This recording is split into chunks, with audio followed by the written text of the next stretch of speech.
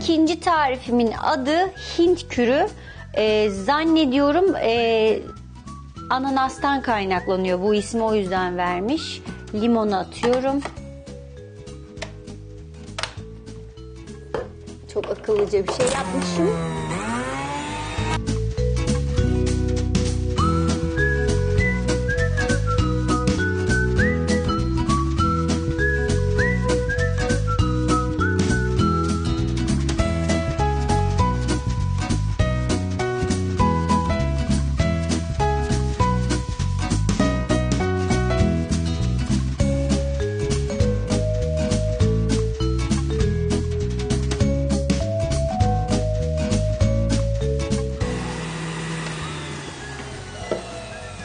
Evet.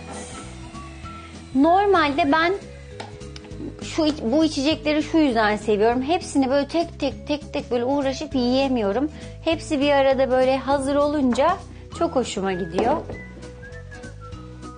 Bu da yemyeşil bir içecek.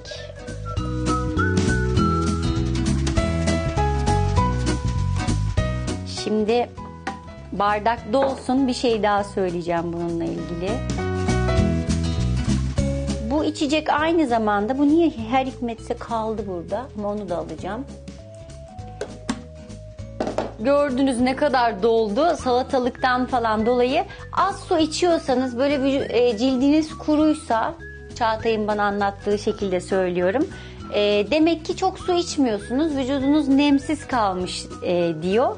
E, bu içecek aynı zamanda da vücudunuzun böyle içten e, bir neme sahip olmasını sağlayacakmış. İki tarifimiz dursun burada. Kim içmek isterse içsin ben içtim çünkü. Bedri abiyi ağırlamak üzere buraları hazırlayayım. Haydi bakalım.